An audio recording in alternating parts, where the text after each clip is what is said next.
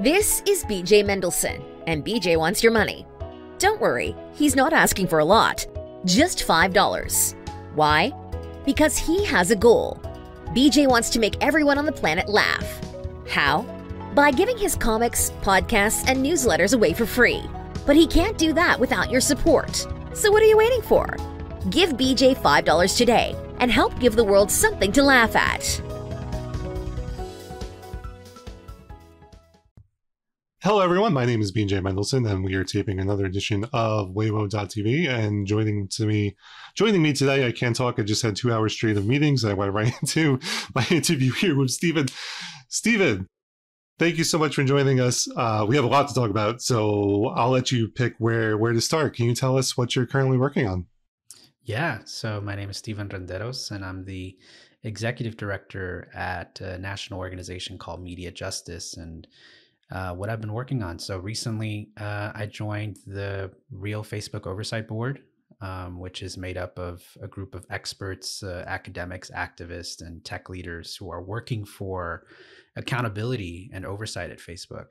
Um, it was in part formed prior to the 2020 elections because many of us feared that in the years since the previous election, Facebook had not really done enough to address disinformation and some of that pressure, you know, led to Facebook taking some steps to change what news people saw, you know, leading up to and in the days following the latest presidential election. Um, but then they quickly reverted. You know, the fastest growing Facebook groups after the November 2020 elections were the Stop the Steal groups. You know, the the groups that promoted the idea that the election was, you know, had been stolen, and that's in part how the January 6th insurrection actually came together, you know, was aided very explicitly by Facebook's algorithms, which, you know, have valued, you know, likes and clicks above all else. And, you know, and I think that's why the real Facebook oversight board is really concerned right now that today in 2022, Facebook continues to put democracies at risk in the US and in countries like India, Brazil, the Philippines, you know, practically any country that's undergoing an election now actually has to contend with the spread of mis and disinformation because you know facebook has uh, failed to keep its users safe. And you know today extremist content from white nationalists continues to spread on the platform. Disinformation particularly in languages that are other than english you know run rampant. Facebook has only partially implemented some of the recommendations that emerged from an independent civil rights audit from a couple years ago uh, and today, Black users and other users representing uh, marginalized communities, you know, still face harassment, still see their posts and accounts routinely suspended for violating opaque community standards, and all the while, you know, far right extremist content, COVID mis and disinformation, QAnon conspiracy theories continue to thrive on the platform. Now, how did you? I'm curious, like, what your journey was to discovering this this issue with Facebook and then joining the board. For me, you know, I wrote social media is bullshit back in 2012 and so i was mm. kind of like early in saying you know the platform is not being policed and then there's a lot of ways to abuse it and you know and then we had the discovery later on of what russia was doing on the platform starting in about 2012 and probably going on into today so but but i'd like to learn more about about your journey to into discovery and then taking action about what facebook is doing yeah, I mean, I came in a little after you, although I was an early adopter of Facebook. I remember joining Facebook uh, back in college, you know, back when it was the facebook.com. Um, you know, but I, I, really came into organizing to try to change Facebook. Uh, it's in 2015. And, you know, my, my entry point into it was um, the killing of Korryn Gaines by the Baltimore County Police. You know, she was a black woman who was dealing with a confrontation with police. Um, and she was actually trying to live stream her kind of interaction with police uh, via the Instagram uh, live feature back then. Um, and she was also routinely posting updates to her Facebook page. Um, and uh, the Baltimore County Police uh, Department made a request of Facebook to take down her accounts, um, and you know to which they complied and to which Facebook complied. And shortly thereafter, the Baltimore County Police like rushed into her apartment and shot and killed her. And this was in front of her, um, I think, like six year old son.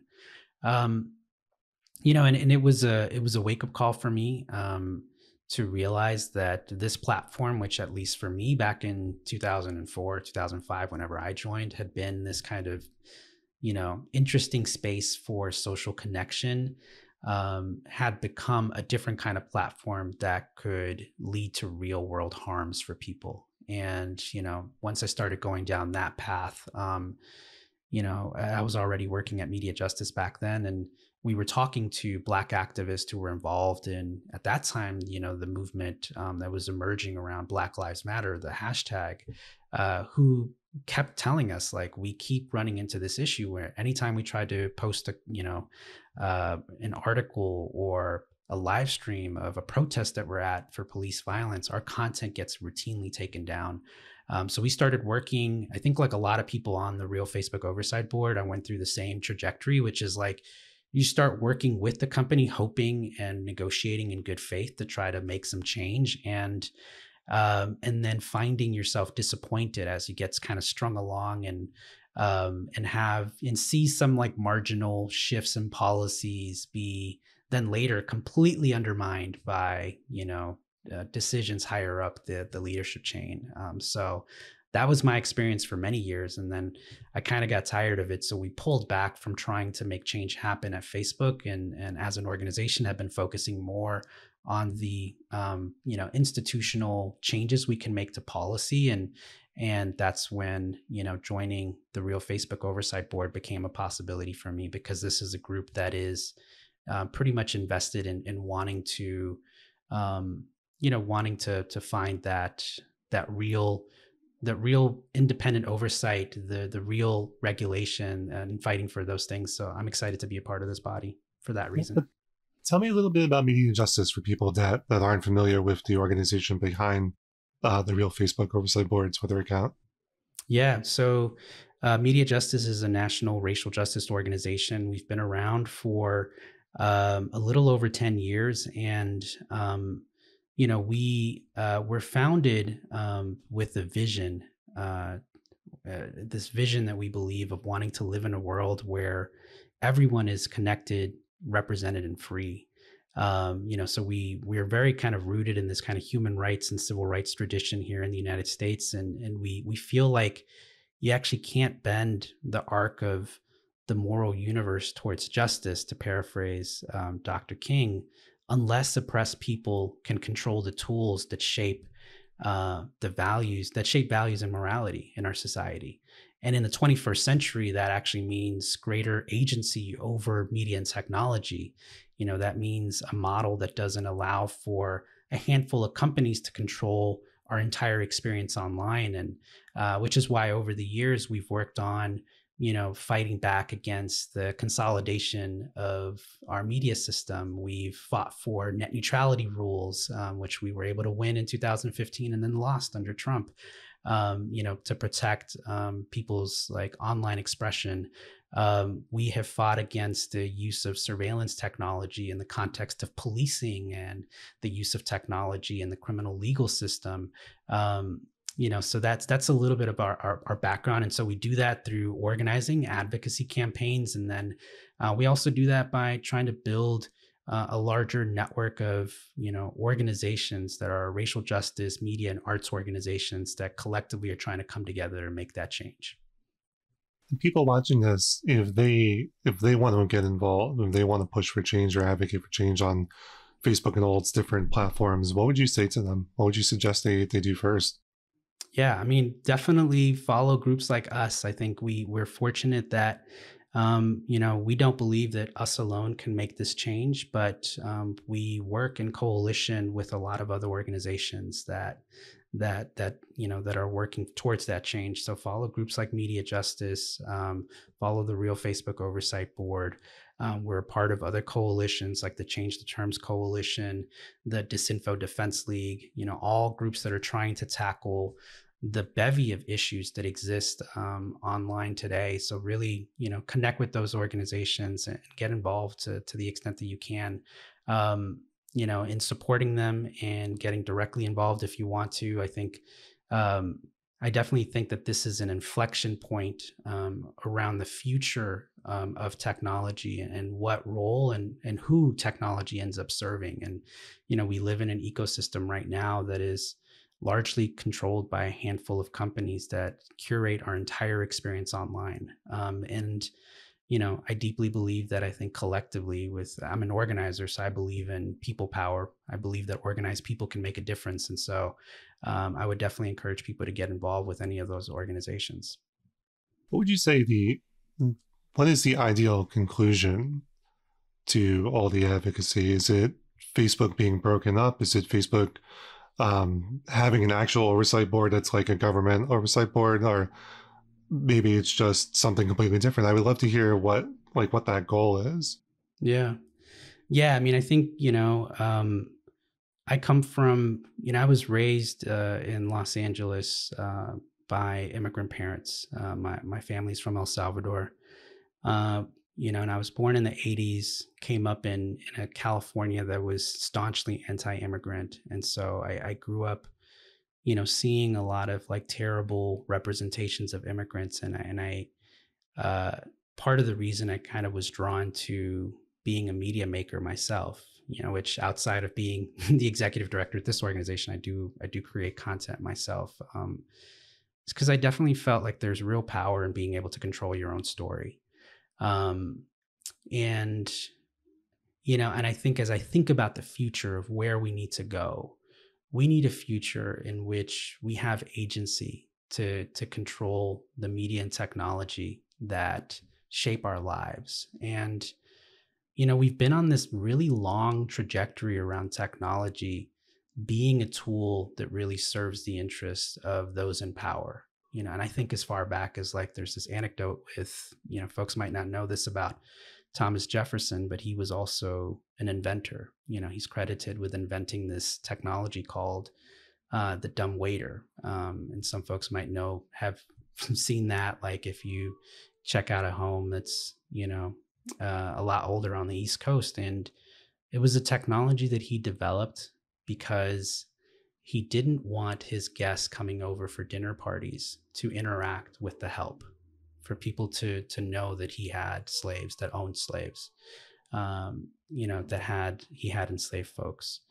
And you know that's i think been the function of technology for many years. It's been this tool to really serve the interest of others and also to create a separation between those that are being marginalized and oppressed and those that are in power um, and and that's why I think today is this inflection point. We're in a moment where I think we can shift the balance of power, um, and so to me, that future looks like, um, you know, whether it includes platforms like Facebook or Facebook itself or Meta or whatever it's trying to call itself these days, um, that who gets to govern it is the people that make up its community.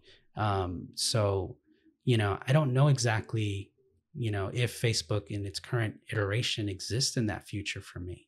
Um, I do think that the pathway to get there means, you know, greater, compelling greater transparency, compelling greater control, oversight um, through policy, uh, and you know, and really giving people um, insights into how this company functions because that's one thing that I think Facebook has been very strategic at doing. It's always hiding the ball of how it's structured and, and how it makes its decisions and, um, you know, bringing it to, to the light of day. I wonder if given a choice, uh, how, you know, how would people pick today? And, and I think about myself in 2004, would I choose to be a part of this platform today, knowing everything that I know now, you know, right. and, and the answer is likely no. I mean, I think a lot about that with MySpace because I think we're about the same age, and so I remember the, yeah. the, the choice between the two. And you had on one side a company that was owned by Rupert Murdoch that was evil, uh, and the only thing they ever did that was profitable was selling hand cream. That's a true story. Yeah. um, that's from Julia Julia Angwin. Uh, she, she, wrote a book about MySpace, and the only division that was ever profitable of the company was the division that Fox bought. Uh, mm-hmm. Was selling hand cream, and then on the other side you had what was perceived to be this college student, right? This this cool college kid opening a place for other college kids to hang out, uh, not realizing what the, what the truth was. And so that I'm glad you mentioned because it's something I think people our age or Xennials or whatever you want to call us, you know, we now think about like we've contributed to this without yeah. necessarily knowing what the ramifications would be and, and wrapping our heads around that. I have to ask you with that. So like these are all very heavy topics. Like, is, so is there anything that you do to kind of not relax, but just to, to help organize and clarify and, and think about these things in a way that doesn't, it doesn't become overwhelming? Yeah, yeah, no, for sure. I mean, I go on walks a lot, um, but uh, yeah, I mean, I, I like as I was mentioning, I'm a I make media on the side. Um, so I produce a podcast with a friend of mine, um, Brandi Collins-Dexter, who coincidentally, um, for many years, she worked at, as a campaign director at Color of Change, um, a national kind of racial justice organization that, and we collaborated a lot on taking on Facebook over the years. Um, but she's a good friend of mine, uh, and we have a podcast called Bring Receipts where where we debate um, our both of our unpopular opinions about pop culture. Um, so uh, our first season is up, and we like focused on the '80s because we were both born in the '80s. Uh, so a lot of bad, a lot of bad takes. um, like I was, I was arguing that Sylvester Stallone should have won an Oscar for his performance in Rambo: First Blood, but um, which of course I lost that debate. But actually, now spoiler alert, I lost that debate. But um, but yeah, so I do stuff like that, which is helpful because I think going back um, in that podcast, we you know we're both very politically minded, and so we we like to think about culture not just through the lens of like you know what was happening in that moment, but really like the political context of that moment, the the context for oppressed people in that moment, and so you know we do we do kind of cover a range of topics um, as we as we also engage in very silly debates. So that's part of what i do i think to unwind. Uh, and, i actually I, I, agree with you. I think that sylvester stallone should have won the academy award for rambo first blood. It's a great film. Um, tell me what if you had to pick an episode would would that be the episode that you would want to tell people about? The one after that is uh, episode um, where uh, my colleague Brandi argues that uh, Marvin Gaye's uh, rendition of the Star Spangled Banner um, at the 1983 All Star Game, which was in Los Angeles at the Great Western Forum. I'm a Lakers fan, that's where I grew up. Um, but she she believes that that's the only rendition that we should hear of that of that anthem. Uh, it's a great episode because we talk about uh, we do a deep dive on Marvin Gaye's kind of history, his uh, where his anti-war stance really came from. You know, it's kind of fueled by you know people think of what's going on as like this really like incredible um, anti-war album, like in the peak of Vietnam, and and a lot of it was rooted in his his brother's experience having gone to Vietnam. Um, so we we cover that, and um, I think it's a great episode. It's also my colleague Brandi's father um, had passed away the year before, and and um, so she she talks a lot about kind of processing grief um, and through the life of Marvin Gaye, who had a lot of parallels to her father. So that's a great episode, I think, to start with. Nice. Now, let me ask you, what would you say to content creators who, who kind of have this dilemma, right? Uh, if you put out a podcast, you want people to know about it, and you're stuck having to use these platforms that are essentially evil in in, mm-hmm. in some respects. And so, how do you how do you wrap your head around that, like in terms of promoting the podcast? Yeah. I mean, you know, we live in contradiction every day. Um, and, you know, I, I would consider myself someone who is, who values, um, who holds values that are anti capitalist, but I have to navigate a capitalist system every day. Um, so, you know, I, I think that it's interesting. I was, I was just talking to a friend about this yesterday about, um, you know, we we we text each other about music, and I was telling him that there's this artist, um, Yahritza Y Su Esencia, uh, which is a she's an artist who with a little band um, with this kind of really relatively unknown genre called corridos tumbados, uh, which is like a relatively new genre that's really emerging and with really young Mexican Americans here in the United States. Um, who kind of follow in the tradition of corridos, but then blend in kind of hip hop elements and um, and other things. And, you know, she has blown up primarily because of TikTok um, and uh, actually draws her inspiration, her creative process. Uh, you know, that song, one song that really blew her up was inspired by a TikTok video that she saw. Um, you know, and so it reminds me of like the SoundCloud rappers from a few years ago that then, you know, like the Post Malones of the world who, you know, were able to achieve some modicum of like wide visibility and then you know get get mainstreamed. I think this is the tension that we have with this infrastructure that we call the internet which is what does which does allow for kind of two-way communications and that's that you know capitalism is advancing and trying to find ways to commodify everything and i think we saw that with with facebook going from like a space of like connection to a space that was driven by um, likes and shares and obviously the content that outrages us is the stuff that's going to drive that engagement. Um, and that's why they leaned into that and um, and so you know i've stepped back from those platforms um, and there's always new ones popping up and you know, I think TikTok is kind of the latest horizon that I think will is already getting like immensely commodified as it is and you know i expect that something else will emerge and um, i think that's just a tension and contradiction that we're in so i leverage it to the extent that i can. I mean i hate spotify but i can't i can't not distribute to spotify um, if i'm trying to distribute a podcast so yeah. I forget who said it but um, they were making the point that they use the tools of the machine against itself yeah, and that's sure. it was a band, and they were saying, "Well, why'd you sign for a record label?" And that was that was the response. Um, what what advice did you get in your life that that you found was really helpful and inspiring in in kind of pushing you in the direction that you've gone in? Yeah, I had a organizing mentor um, after college when I started um, doing community organizing as an actual career path and um, he he used to talk a lot about power. His name was Salvador Miranda, um, and uh, he said that you have to act yourself into a new way of thinking.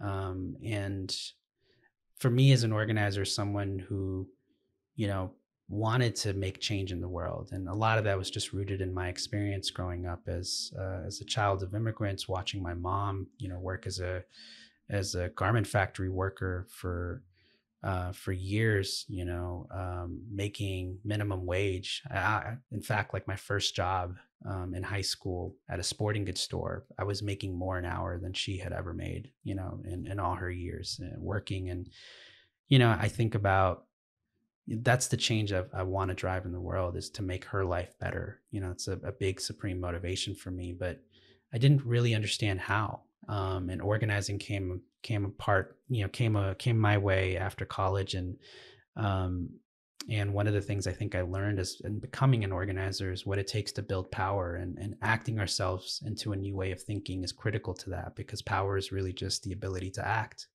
um, and so. Uh, so yeah, that was supremely helpful for me, and it's uh, about embodying a certain um, you know embodying the change that we want in the world. And and I think I've taken that to heart particularly as I've become an executive director the last couple years um, and thinking about what do I want my leadership to look like and how should it be structured. And uh, I've been thinking a lot about how we can you know as we're fighting for justice as an organization that fights for justice how can we create that justice even within the institutions that we're in? You know how can we start to feel some of that change now? So um, acting yourself into a new way of thinking, I think, is one that's really stuck with me. Uh, I got my two last questions I ask everybody. The, the first is in your case, you come across a lot of organizers who maybe haven't gotten the attention they deserve for the work. Is there anyone that comes to mind that you really want to, or any organization that comes to mind that you really want to put a spotlight on? there's, there's so many. Um, you know, there's an organization that um, is a member of our network that has, um, since about 2012, been fighting for the abolition of technology, um, tech surveillance technology um, in policing. Uh, that's an organization out in Los Angeles called the Stop LAPD Spying Coalition. Um, you know, I think they've been immensely influential in the wider field of groups that have you know worked on these issues of like tech um you know tech justice and and really pulled us towards a more radical vision. Um and uh, so shout outs to hamid khan who is one of their organizers who has been uh, an incredibly influential figure for me in that respect um, and stop lapd spying coalition which is you know a, a group led by um, you know folks who are at the margins i mean they're literally based in the Skid Row neighborhood of Los Angeles, a place where when you talk about surveillance, that is the epicenter. You know, it happens at every form, at every institution. So that's an organization I think deserves more attention. What's one question you wish I'd asked that I didn't? Where can you find my podcast? Uh, oh, that was uh, that was coming up last. That's always the last one. no, I mean this um, is uh, this is there isn't necessarily a, a question. I guess um, I guess for me, um, yeah, it's just exciting to to get to talk about these issues. So really, really grateful. Yeah, I would love it if you would be willing to come back. Um, you know, maybe when we get closer to the election. Absolutely. Um, I think that would be very important for people to hear. Um, but yeah, where where can we find the podcast? Where can we find you? Where can we find the uh, the Real Facebook Oversight Board? Yes, I'll do a plug for for my podcast. The season two of it, of which is coming out soon. It's coming out probably uh, sometime in May. It's it's focused on the '90s, which will be a lot of fun because uh, just to preview one of the debates I'm most excited about, uh, we debate the best nu metal band, Limp Bizkit versus Korn. Um, Interesting it, it, it's it's a really good debate. I'm really excited for folks to listen to that. I've also got a a different project um, that I should plug that's coming out on May 1st. Um, it's called Revolutionary Spirits. It's a podcast I'm producing. I'm not on it, um, but I'm just producing it um, for a couple friends, and it's focused on that first season is focused on the life of a pretty famous Mexican revolutionary, Francisco Madero. Um, and it retells his life um, in, in, a way, you know, and offers like a very unconventional take on his life because it focuses on his uh, his practice of spiritism, which was a kind of a religious or spiritual practice in the early kind of 20th century that was pretty popular, where people f- believed that they could channel spirits themselves. Um, so this this uh, this person who went on to become Mexico's first like democratically elected leader uh, in the 20th century uh, channeled ghosts, and one of those ghosts was his baby brother, and and his baby brother gave him some wonderful advice about how to be an apostle of democracy, uh, and that one comes out May first, and folks, you know, should should check it out. Um, you can subscribe to it now and and uh, check out the trailer. It sounds it sounds like an amazing show. Like that's I am sold on that description alone. Like it's cool. So, I mean, so, we talk about masculinity, which is very interesting, and, and how Madero kind of projected masculinity, particularly in a time period uh, of a lot of toxic masculinity. And so I think one of the cool things that the hosts of the show do is kind of draw those parallels between the toxic masculinity of of you know it, within the Mexican Revolution and, and how we see that kind of in the contemporary U.S. today. That's fascinating. I I love it. Um, thank you so much for for joining me, for taking the time. Um, I will make sure to let you know when this go live, goes live. Just hang out for one second and just make sure everything records, and uh, we'll wave goodbye to anyone who might be watching on the live stream.